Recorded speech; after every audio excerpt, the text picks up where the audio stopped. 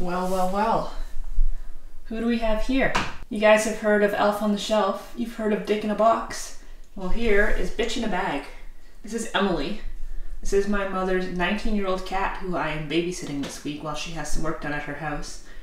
And she's miserable. In fact, we have a lot in common. She hates people. She'll bite you if you get too close. She hates everything. In fact, I'm pretty sure the best day of her life was the day that I moved out of my mom's house. And well, guess what? Psych, I'm back. Say hi, Emily. I think this is the closest that I've gotten to her without her trying to bite me ever. So in last week's video, we talked about every boomer's favorite catchphrase of the year, nobody wants to work. And we discussed all the reasons why that may or may not be true and may or may not be valid, but one of the points that I made in that video that I want to dive into a little bit deeper today is the idea that the freelance, side hustle, gig economy has completely revolutionized the opportunities that we all have to make a real living. With a little bit of creativity and ingenuity, I really do believe that everybody has the ability to earn $50 an hour or more just by learning to leverage their skills and market themselves just a little bit. And so in this video, I'm gonna share with you 25 ideas for freelance gigs or side hustles that can earn you $50 per hour or more and require no degree, no formal education at all actually, and no specific qualifications. And these are things that I would recommend if they pique your interest to start them off on a side hustle basis and see if you can build them up into a business. You really never know how large you can scale these things. And yes, some of these are things people do full time to make a full-time living. So I'm gonna preface this right now by saying that if one of the jobs that I list is what you do for a living and it's your artistry and it's your craft and it's something you've studied a long time for and practiced a lot, don't come at me, calm your tits. I'm not saying that anybody can just walk off the streets and knock you off your pedestal. I'm just saying that these are jobs that anybody can learn how to do and they're skills that a lot of people already have and just aren't marketing properly. With that said, let's jump into it. So the very first freelance gig that I wanna talk about is something that a lot of us have already done at different points in our lives, and that is painting homes. If you've ever repainted your own bedroom or your own apartment, you'll know that it's honestly not the most complicated thing in the whole world. Where I live here in Toronto, the average going rate for hiring a painter is about three to $500 per room, depending on the size of the room. And if you've done this before, you know it's not the most time consuming thing ever. You prep the walls, you paint them, you let them dry, you come back, you put another coat, and boom, you're pretty much good to go. And so even if you're charging on the low end at $300 for a room, and if it takes you a total of five hours of labor to do it, that's $60 an hour. Not too shabby. Freelance idea number two is detailing cars. And this one you can actually operate in one of two ways. You can either have people bring their cars to you and clean them at your place, or you can even charge them a premium and go to them and clean their car on their driveway or in the parking lot where they work. The average going rate to have your car detailed around here is about $300 and it goes up from there depending on how dirty your car is or how big of a vehicle you drive. And knowing that an average detailing takes three to four hours, you're looking at easily 75 to $100 an hour for detailing cars. Side hustle number three is one that I've actually done personally in the past. I actually used to do this when I was in high school when everybody else was working like fast food and retail jobs. I taught private music lessons. Private music lessons are amazing because if you play an instrument of any degree, whether it's a guitar, drums, piano, even if you're a good singer, chances are you quite enjoy doing that. And so teaching it to other people is a pretty easy job. The thing that a lot of people don't realize is that you don't even have to be a professional. You don't have to be super skilled. You only have to be a little bit better than the person you're teaching. So truthfully, I'm a pretty mediocre guitar player at best, but I taught mostly young kids and complete beginners, and so I was quite a bit better than they were. And even back then at 16 years old, I was charging $30 per half hour or $60 per hour, and I know rates have gone up since then to about $40 per half hour or $80 per hour, and even more so if you travel to the client versus them coming to you. So again, 80 bucks an hour to play your instrument of choice, not too bad. And on a similar wavelength, idea number four is to teach cooking classes. Once again, you absolutely don't have to be a professional chef. If you're just a really solid home cook, well, guess what? There's a lot of people who aren't and who will pay you good money to teach them to make tasty food at home. You can do this in a group setting, you can do it one-on-one, or you can even do it over Zoom. But from what I've seen, the average rate to attend a cooking class is between 100 and $150 per class, and that class can be one to two hours in length. So you're looking at a minimum of $75 an hour. Something that I don't think a lot of people realize is that teaching, especially in the context of private instruction, can be very lucrative regardless of what the skill is that you're teaching. If you've ever hired a private instructor or taken lessons of any sort on a one-on-one -on -one basis, you know that 50 to 100 or even $200 an hour is not at all unheard of. Like Jack Black always says, Those that can't do, teach. And those that can't teach, teach gym. And so the best part of all is that everybody has some sort of skill or hobby that they're good enough at that they can teach to somebody else. So quickly, here's some other ideas. You can teach kids to ride bikes or skateboards or play pretty much any sport and easily you're gonna be looking at 50 to $100 an hour. I know that most of us, myself included, learned to ride a bike with our parents holding on to the back of our seat, but there's a lot of people who have more money than they have time and patience and you can definitely take advantage of that. Similarly, if you're a good swimmer, you can give private swimming instructions in people's homes in their personal pools. That's $100 plus an hour.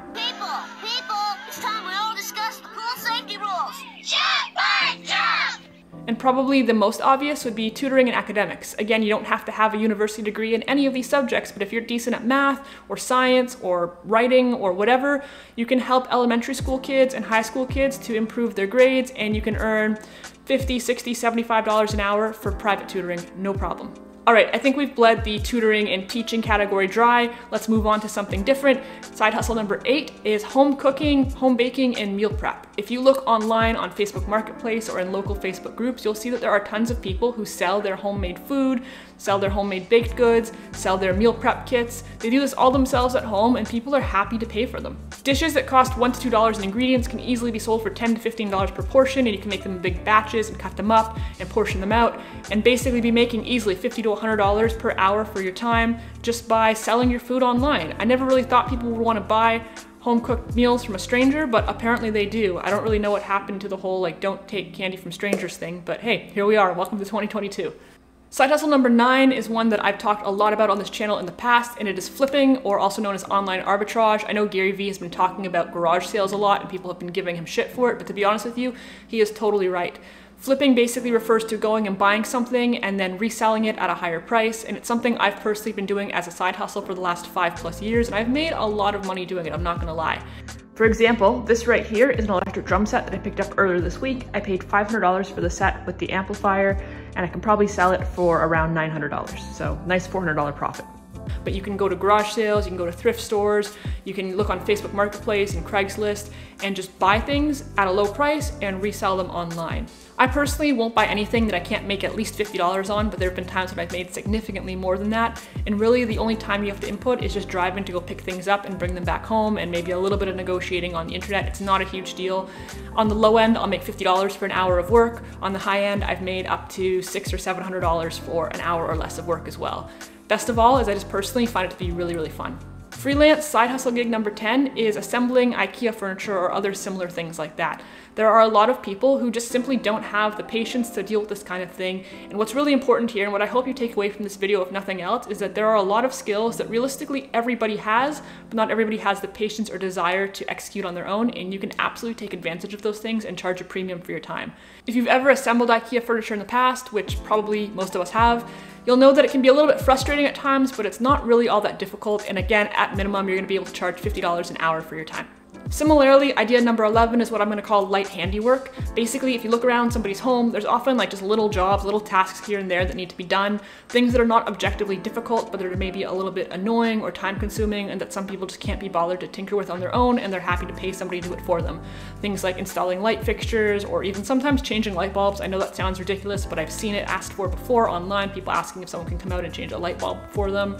Um, hanging pictures or mirrors on the wall, installing towel bars or toilet paper holders, just little things like that, which again are not terribly difficult. You don't have to be an electrician to change a light fixture. I've done it myself many times, yada, yada, yada. Most handy people have a minimum fee that they charge just to go to the person's home, regardless of the simplicity of the job. And that fee can range from $50 on the low end up to over $100 on the high end, meaning that even if it's a five minute job, you're gonna get paid at minimum, whatever your minimum charge is. And then depending on what the people need and how much work you have to do, you charge them from there. But typically speaking, you're gonna be making a couple hundred dollars per hour on average. Side hustle freelance gig number 12 is gonna be shoveling snow, cutting lawns, and general landscaping work. Again, yes, I know that there are landscapers out there who will say like, I'm a professional. Good for you, all good, not knocking it, relax.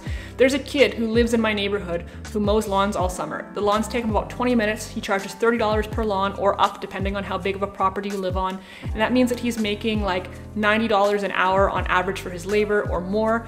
And listen, he's 12 years old or 13 years old. If he can do it, literally anybody can do it. So shovel snow, cut grass, trim trees, whatever it is that you're comfortable doing, easily 50 to $100 an hour or more depending. In lieu of not making this video like an hour long, we're gonna move through the next few fairly quickly. Power washing is gonna be number 14. You can rent a power washer or buy a power washer and you can charge people. My mom had somebody quote her last week, $250 to power wash her deck. She told them promptly to shove it in the nicest way possible. I'm sure she didn't tell them to shove it. But the point is that would have been like 30 minutes of work for $250. You can power wash people's decks, driveways, the siding of their houses, what have you. Hey, just one quick thing before we move on. If you're finding any value in this video, if any of these ideas have piqued your interest, do me a quick solid, please. Hit that like button. Thank you. Number 14 is cleaning houses and offices. Again, this isn't a skill that most people need to acquire. Most people are perfectly capable of dusting, vacuuming, mopping, that kind of thing, scrubbing toilets. Not necessarily the most glamorous, but the truth is you can make decent money doing it. The average house, depending on the size of it, of course, can be anywhere between two and $400 a week for a clean. And if it takes you even three to five hours, well, you do the math, it's pretty good money all around. Number 15 is probably gonna ruffle a few feathers, and so I'm gonna start this off by saying that yes, it is a skill that you most likely don't have today and that you would have to learn, but it's something that you don't need a formal education or any qualifications to do, and you can learn by yourself online and just through practicing hands-on, and it is grooming dogs. Yes, I know I'm gonna blow your mind right now, most likely, but the person who grooms your dog, the person that you pay $100 to for like two hours of work, does not have a degree, most likely, probably just learned how to do it by learning how to do it by just learning with somebody else or just practicing on their own dog or practicing on their friends and their family's dogs. And over time, you get better and better at it. I'm not saying this is an easy job. I'm not saying that it's a fun job. It can be very difficult. It can be very dirty. But the fact remains that this is a job that you don't need a degree for. You don't have to have any formal qualifications for. And it can easily earn you six figures a year. If grooming dogs isn't your thing, I certainly don't blame you. It's absolutely not my thing either, but it is lucrative. With that said, another idea is dog walking. And it's definitely a little bit less dirty and less difficult. The average going rate for a private dog walk, meaning you just take one person's dog at a time and take them out, is $30 per 30 minute walk, so that's $60 an hour. If you offer group walks where you take multiple dogs, you can charge them about $20 per hour and take as many dogs as you can manage, which can easily be 60 to 80 to even $100 per hour. And it's really not a bad job, especially in the summer months, to just get outside and be active. Saves you money at the gym as well. Another similar idea that you can do is pet boarding or pet sitting. Uh, and once again, there's two different ways you can do this. You can either bring people's dogs into your home and the average going rate, at least here where I live, for in-home pet boarding is about $75 a night. So if you bring in, once again, three or four dogs, you're making a good couple hundred dollars for not having to do a ton. Uh, you can also offer it as an option to go to the person's home, stay in their home with their dog, and you can charge a premium for that because then it's one-on-one -on -one boarding and people will pay a lot of money to have their pets well taken care of. So if you like animals, it can be a great business. And for anybody who's not scared of doing the less glamorous job, something else that can be quite lucrative and pretty easy, quite honestly, is poop scooping. Yes, I know what you're thinking. Ow!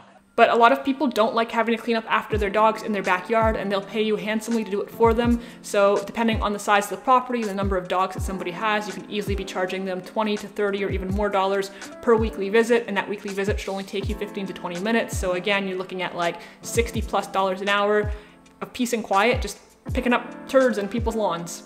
All right, number 19. Does that make sense to do it? 10 and 9, 19, 19. Number 19 is another one likely to ruffle some feathers, but I'm just gonna come straight out with it. It is photography and videography. Yes, yes, hold your breath. I know there's gonna be people here who I'm gonna piss off with this one. They're gonna say, oh, I got a degree in photography. I studied cinematography in school, whatever, blah, blah, blah, blah.